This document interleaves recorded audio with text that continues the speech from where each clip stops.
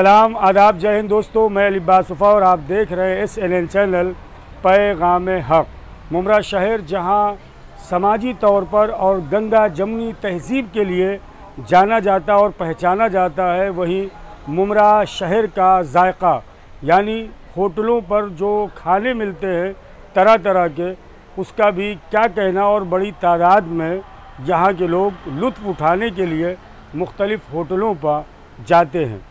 इस वक्त हम एम डोसा पॉइंट, जो फायर ब्रिगेड से लग करके है, वहाँ पर मौजूद हैं और आज अपने कुछ बुज़ुर्गों के साथ, दोस्तों के साथ यहाँ पर आए और बाकायदा हम लोगों ने नाश्ता किया। बेहतरीन टेस्ट, बेहतरीन लज्जत, बेहतरीन साफ़ सफ़ाई का ख्याल।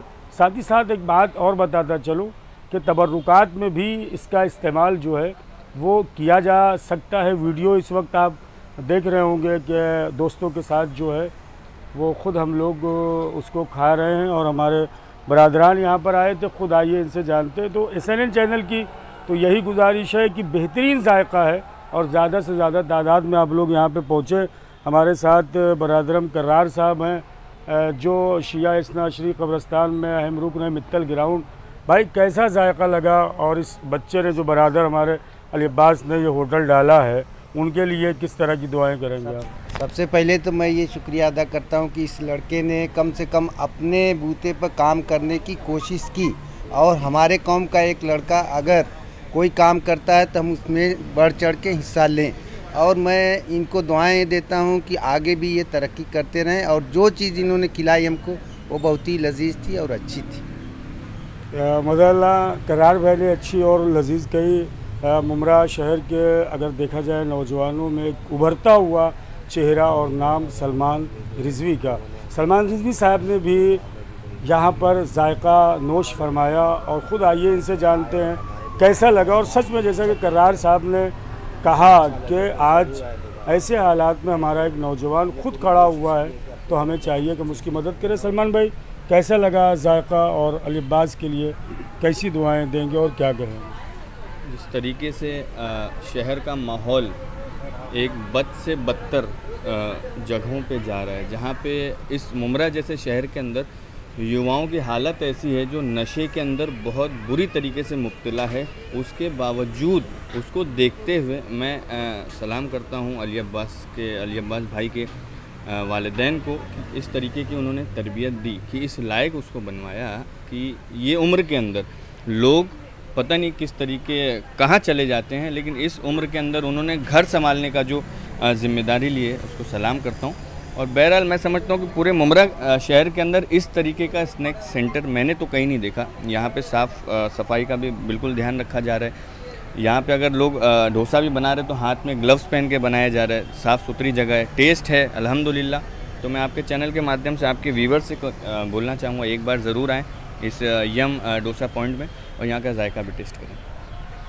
ये बरदर सलमान रिजवी साहब थे मुमरा शहर के उभरते हुए समाजी चेहरे और अंजमन परचम अब्बास के सेक्रेटरी मोहतरम हसन अब्बास जुगनू साहब हमारे साथ हैं। जुगनू भाई जायका आपने चखा नौजवान के लिए और जायके के बारे में और लोगों से इस मौके पर आप क्या कहेंगे?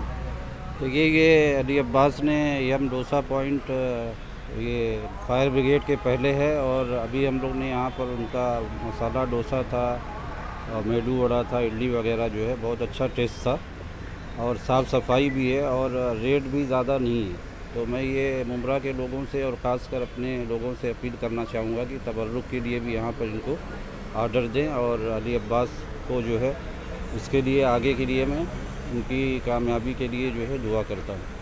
माशाल्लाह मोहतरम हसन अब्बास जुगनू साहब हमारे साथ बरदरम मोहतरम राजू सैयद साहब हैं। मैं राजू भाई क्या कहना चाहेंगे इस मौके पर इस नौजवान के लिए? और जायका कैसा था? खाया तो आपने थोड़ा सा नाश्ता आप करके आए थे लेकिन कैसा लगा?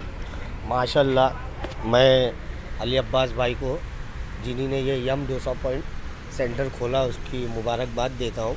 और रोज़ी रोज़गार में इनके खैर बरकत अदा फरमाएँ।